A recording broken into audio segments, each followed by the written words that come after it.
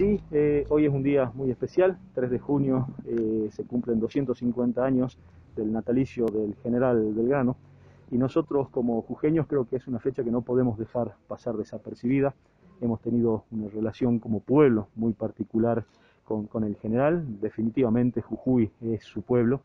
así que nos parece que acá, junto a prácticamente todos los bloques políticos, hay presentes eh, nueve concejales de los 12 que integran el cuerpo, izando las banderas, las banderas que fueron creadas por el general, una de ellas, la bandera de nuestra libertad civil, donada al pueblo de Jujuy, en tributo por, por todo su heroísmo y por sus gestas tan heroicas en lo que fueron el éxodo jujeño y las batallas de Tucumán y Salta. Así que desde ya muy agradecido a todo el cuerpo y por supuesto instar al pueblo jujeño a no dejar pasar desapercibido este mes. Este mes es un mes netamente belgraniano y como decía recién, Belgrano si bien no nació en, en Jujuy, fue su hijo adoptivo. Bueno, 250 años de la llegada